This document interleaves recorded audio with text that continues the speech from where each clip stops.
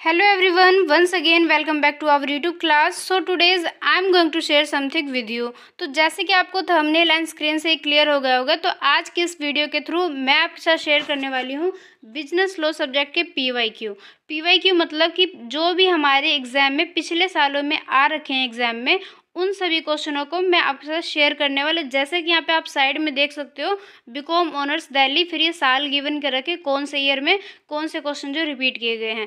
तो आज इस वीडियो के थ्रू मैं आपके साथ शेयर करने वाली हूँ पी वाई क्यू तो आई होप ये वीडियो आपके लिए काफ़ी ज़्यादा हेल्पफुल होगा, क्योंकि इसके थ्रू आप अपने प्रिपरेशन को काफ़ी बेटर तरीके से, बेहतर तरीके से कर सकते हो।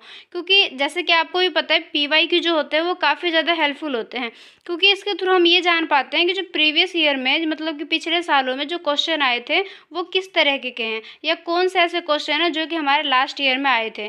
तो प्रीवियस ईयर क्वेश्चन जो होते हैं, वो हमारे एग्ज़ाम में रिपीट होने के ज़्यादा चांसेस होते हैं। इसलिए आपको पीवाई को हमेशा प्रेफर करना चाहिए। एग्ज़ाम में जाने से पहले उसकी जब आप प्रिपरेशन कर रहे हो तो पीवाई को आपको ज़रूर देख लेना चाहिए। तो इसके थ्रू अपने अपने प्रिपरेशन को काफ़ी सही तरीके से कर सकते हो। तो आई होप वीडियो आपके लिए काफ़ी ज़्यादा हेल्पफुल होगा। तो अगर आपको क्लासेस सही लगे, ये वीडियो के थ्रू आपको हेल्प मिली हो तो वीडियो को लाइक ज़रूर करना। एंड अगर आप चैनल पर फ़र्स्ट टाइम विज़िट करें तो चैनल को सब्सक्राइब ज़रूर कर लेना। क्योंकि इस चैनल के थ्रू मैं आपके साथ डी यू एस के जितने भी सब्जेक्ट हैं स्पेशली जो बी के हैं बी ऑनर्स के और बी प्रोग्राम के तो उन सभी के जो कोर्सेज हैं, उनको हम इसी चैनल के थ्रू डिस्कस करते हैं। सारे सिलेबस को कंप्लीट करते हैं। तो चैनल भी आपके लिए काफ़ी ज़्यादा हेल्पफुल होने वाला है। तो चैनल को सब्सक्राइब ज़रूर कर लेना। अगर आपने अभी तक चैनल को सब्सक्राइब नहीं किया है, साथ ही अगर इस वीडियो के थ्रू आपके जो एक तरीके से एग्ज़ाम में हेल्प मिलेगा तो वीडियो अगर आपके लिए हेल्पफुल रहे तो वीडियो को लाइक ज़रूर कर लेना। तो इसी तरीके से आप स्क्रीन पे देख सकते हो, काफ़ी सारे क्वेश्चन है जो जो कि आपके लिए काफ़ी ज़्यादा हेल्पफुल हो सकता है। साथ ही इसमें साइड में लिखा भी है कि कौन सा जो क्वेश्चन है, कौन से साल में रिपीट किए गए हैं।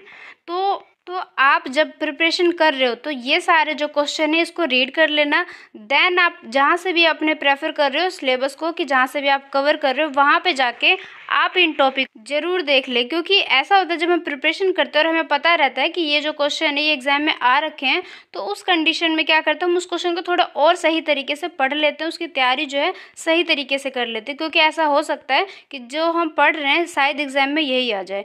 तो इसलिए जब आप भी अपने प्रिपरेशन को करो तो ध्यान रखना, आप इन क्वेश्चनों को सही तरीके से एक बार पढ़ लेना देन उस टॉपिक को आप सही तरीके से पढ़ना। इस तरीके से जब आप प्रिपरेशन करोगे तो ये आपके लिए काफ़ी ज़्यादा हेल्पफुल हेल्पफुल हो जाएगा। साथ ही आपके एग्ज़ाम में काफ़ी ज़्यादा मार्क्स भी आएँगे, क्योंकि क्वेश्चन आपके पास पहले से गिवन रहेगा।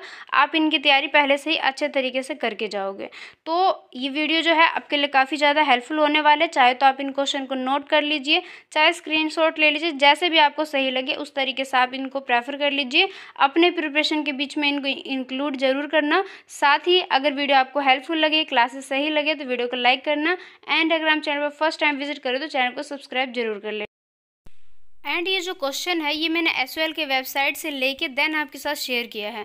तो वीडियो जो है काफ़ी ज़्यादा हेल्पफुल है। पी देखो पी वाई क्यू करने में कोई दिक्कत नहीं आती है। क्योंकि जब आप प्रिपरेशन कर रहे हो तो साथ ही अगर आपको ये पता चल जाए कि कौन से ऐसे क्वेश्चन है जो एग्ज़ाम में बार बार आते हैं तो उससे क्या आप अपने प्रिपरेशन को काफ़ी बेहतर तरीके से कर सकते हो। जस्ट आपको क्या करना है, एक बार क्वेश्चन को रीड करना है देन आपको देखना है कि जो क्वेश्चन है, ये कौन से यूनिट में से आ रखे तो इस तरीके से जब आप क्वेश्चन को रीड करके अपने यूनिट में चेक करोगे देन उसको आप रीड कर लोगे एक बार सही तरीके से कॉन्सेप्ट को समझ लोगे। तो ये जो एक तरीका है, जिस तरीके से आप अपने एग्ज़ाम में सही मार्क्स ला सकते हो, अच्छे मार्क्स ला सकते हो, क्योंकि एक सही प्रिपरेशन का मेथड या प्रिपरेशन का एक जो सही तरीका होता है, वही जो है एग्ज़ाम में काफ़ी ज़्यादा मार्क्स को मिलने में हेल्प करता है। तो इस तरीके से आप अपनी प्रिपरेशन को काफ़ी अच्छे तरीके से कर सकते हो, चाहे तो आप इन क्वेश्चन के नोट्स बना लो, या अगर आपके पास टाइम कम है तो आप इनके स्क्रीनशॉट ले लो, या आप टेलीग्राम पर जाके इसकी वीडियो को, इसके पीडीएफ को डाउनलोड करके भी वहाँ से भी देख सकते हो। तो ये आपके ऊपर डिपेंड करता है कि आपको प्रिपरेशन किस तरीके से करना है बट हाँ इन क्वेश्चनों को आप ज़रूर रीड करना, क्योंकि जो पी होते हैं, उन्हीं में से क्वेश्चन रिपीट किए जाते हैं। तो जब आपको पता है कि कौन से क्वेश्चन एग्ज़ाम में आने वाले हैं तो ये तो काफ़ी बेहतर तरीका है कि आप आप अपने प्रिपरेशन को काफ़ी सही तरीके से कर सकते हो। तो आई होप वीडियो आपके लिए काफ़ी ज़्यादा हेल्पफुल रहा होगा। जो क्वेश्चन है, इससे आपके एग्ज़ाम को काफ़ी ज़्यादा हेल्प मिलेगा। तो आज के इस क्लासेस में बस इतना ही, क्योंकि आपके साथ मेन ये जो क्वेश्चन शेयर करना था, यही मेन मोटिव था। तो आई होप वीडियो आपके लिए काफ़ी ज़्यादा हेल्पफुल रहा होगा। वीडियो अगर पसंद आए तो वीडियो को लाइक ज़रूर करना। मिलता अपने नेक्स्ट वीडियो में, तब तक के लिए बाय एंड टेक केयर